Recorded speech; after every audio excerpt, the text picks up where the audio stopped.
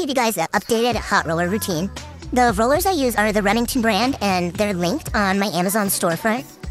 Step number one, start off with a heat protectant spray all over. One's Kenra Thermal, and it has a little bit of a hold to it too. I use one and a quarter inch and one and the direction you roll the hair does matter. It just depends on what look you're going for. If you want Matilda Djerf looking hair, then your bottom half of your rollers need to be going towards your face, and this top half need to be going away from your face. And to prevent kinks, when you put these little clips in, you need to do it from the bottom, or else it will kink.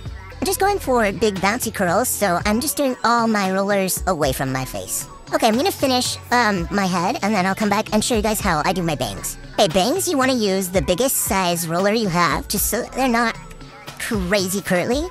And then I literally just roll them up like this. But you wanna be really careful not to kink them. And there you have it. I don't want this video to get too long, so I'll post the results in the next one.